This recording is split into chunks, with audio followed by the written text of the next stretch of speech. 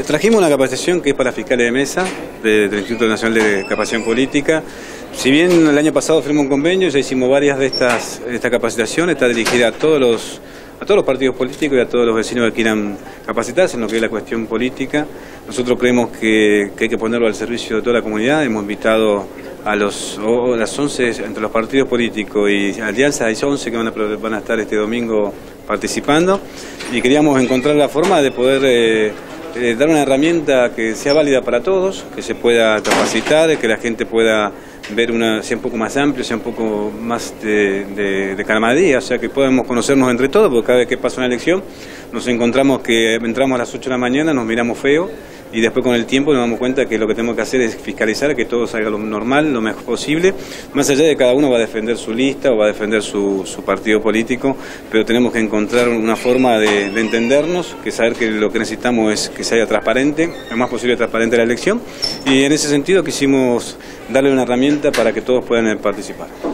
En cuanto a lo que tiene que ver precisamente a las próximas elecciones, las paso, bueno, la provincia también ha estado ayudando en lo que tiene que ver con los preparativos. Sí, nosotros hemos puesto a disposición del, del juzgado electoral federal todo lo que es el Estado. Hemos eh, dispuesto a abrir los registros civiles el sábado y domingo, van a estar abiertos de 8 a 18 para la gente que no pueda retirar los DNI. Hemos puesto los lugares de, de donde la gente va a poder hacer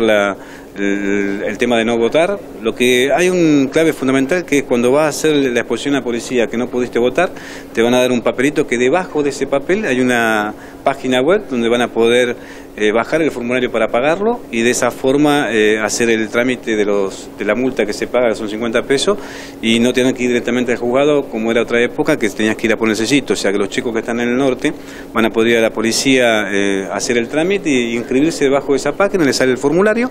y de ese formulario van al banco, lo pagan y automáticamente ya quedan cu- cubiertos con lo que es el tema electoral que no han podido votar. Eh, la policía va a estar también a disposición de lo que es el juzgado electoral, así que nos encontramos abocados a lo que lo que ellos necesiten como, como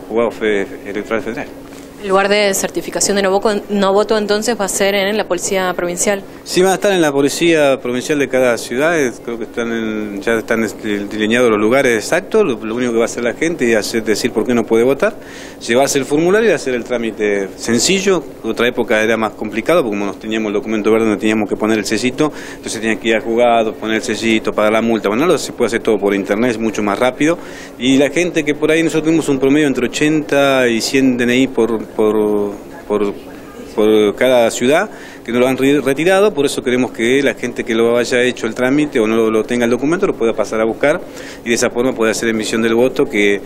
que necesitamos que la, la gente participe y, y podamos seguir viviendo en democracia. ¿no?